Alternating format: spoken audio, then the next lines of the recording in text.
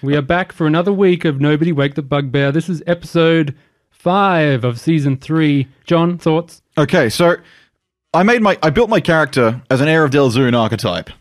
And I thought I'd play a little bit against type. I'm like not a dwarf that's a proud nationalistic dwarf or from a great dwarf family. I'm just a little steely little dwarf.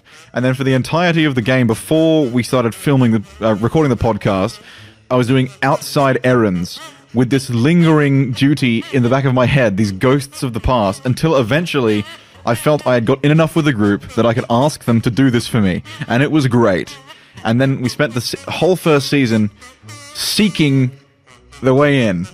And we eventually found the Seekers of the Way, and it was only at the end of that season that we figured the way to get into the River of Flame. At the beginning of the second season, we went through the River of Flame and finally got to the doors. I thought, oh, thank God, we're going to get inside the, the doors In like two episodes. in like two episodes across a giant lake. I thought, oh, it's going to take, take us a couple episodes to get across this lake. It's just a little wet. It's still good. No. Then the Ashmadai, then Carnathrax, then the Drow, all this nonsense. Then the Giant takes an entire season for us to fight this battle with like two like Two like bosses. three, three bosses. episodes, four episodes, something like that. And I'm like, okay, well, thank God, the entire second season is, is through.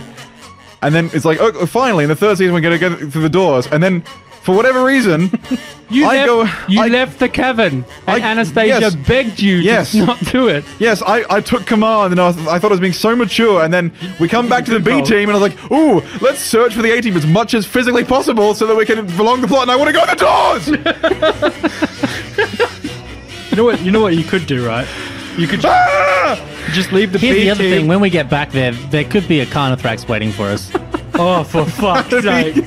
Can you? go back into the cavern. He's, imagine. he's curled up in front of the.